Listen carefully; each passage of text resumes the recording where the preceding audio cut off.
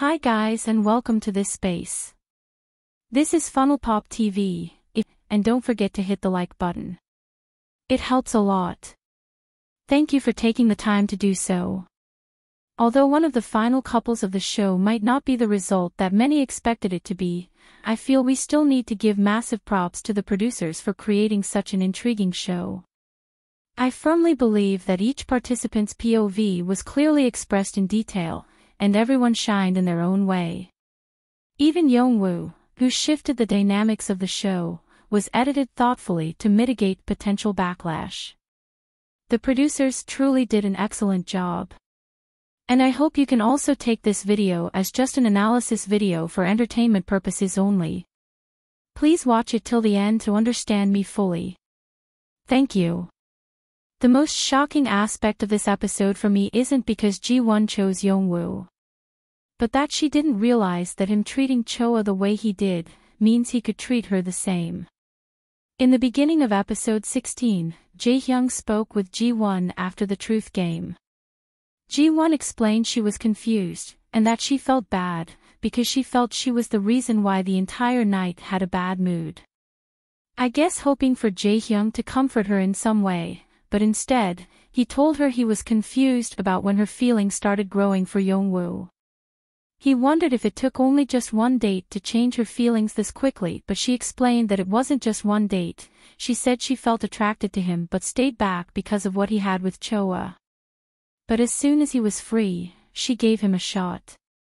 After this conversation, there was no more confusion for me because this meant that her feelings for Jaehyung were not deep enough. And I had this suspicion too back then, which was why I mentioned in one of my videos, that I never felt their spark until the kitchen scene, when they were showing love to each other and Yongwoo seemed on edge. She seemed to be holding on to Jaehyung because she had no other choice in the house. Meanwhile, Jae-hyung took the experience seriously and even thought about marriage, so he put his true emotions and heart into it. More so because when they were in Seoul, Ji-won always told Sesung how much she wanted Jae-hyung that she liked him and was curious about him. Sesung believed her and she helped her brother understand Ji-won's feelings too. This was why Jae-hyung opened up his heart completely and felt secure in what they were building. Despite Ji-won reminded him of a bad ex, he was willing to give this a shot. He also fits her usual type, though she didn't want to date that type again, she too was willing to give it a shot. But sadly, her feelings for him were not that deep. This was why she was easily swayed when Yongwoo gave his cryptic message to her in Jae-hyung's presence, letting her know that he made a mistake texting someone else while he was on a date with her. She couldn't sleep that night. I believe that was when her mind was made up. This also explains why she was a bit cold towards Jaehyung during their bonus date. The final turning point was her secret date with Yongwoo, where she confirmed his feelings for her and made her decision.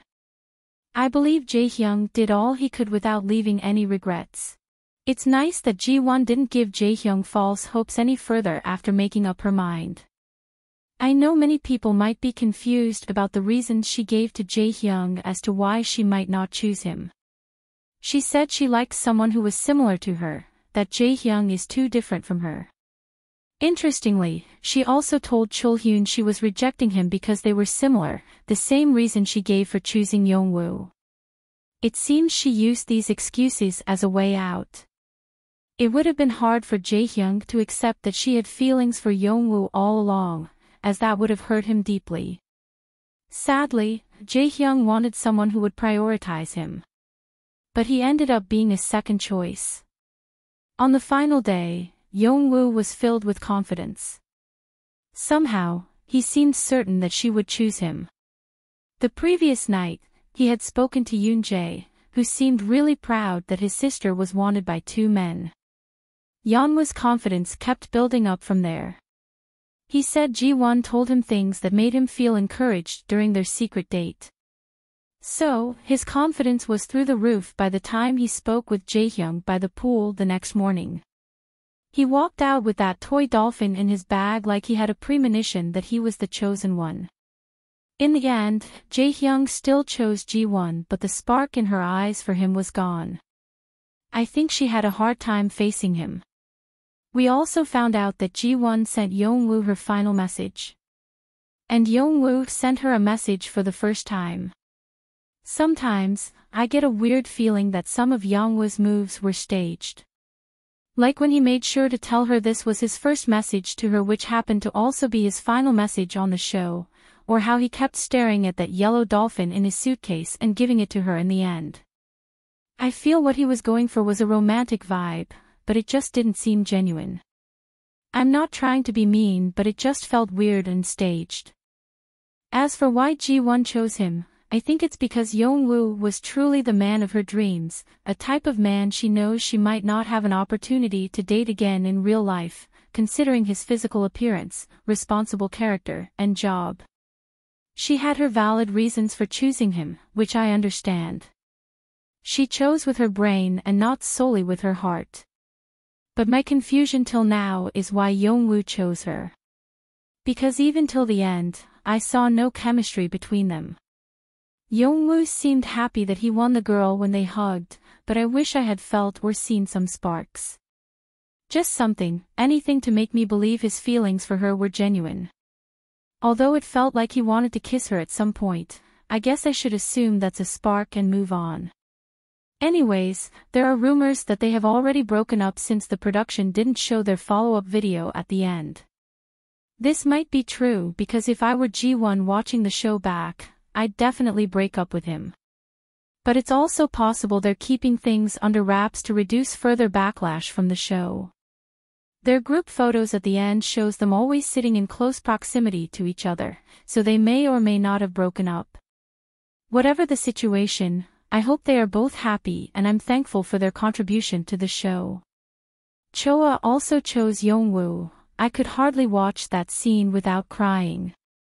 Watching her hold back tears was painful. The producers making everyone make a final choice felt cruel.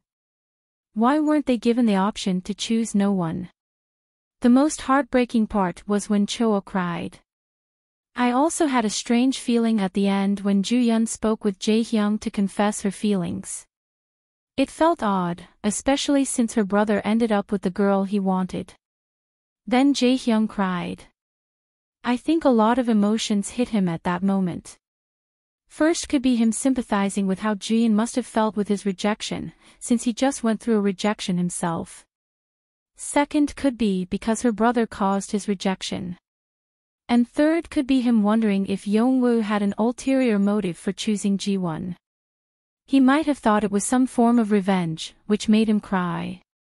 That scene of him crying, although sad, seems to be the climax of the show. Jae-hyung was the protagonist of the entire show. It started with him and it ended with him. He is the true winner in all of this. Because if Ji-won could be swayed on the show like that, then she could be swayed the same way in real life which could cause a more difficult heartbreak. I hope viewers can understand that the show includes a strong element of family, with parents showing their faces on TV. It's therefore important to give constructive criticism without hate. It's been months since the show ended and we could see they were all together for Christmas. It seems they are all a big happy family now, so let's support them.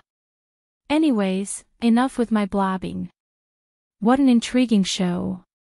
What do you think about Ji-won's choice? Do you think Yongwoo really liked Ji-won as he claimed? Do you believe they are still together or they broke up? Share your thoughts in the comments and hit subscribe. You can also check out my other videos for more fun times. Bye.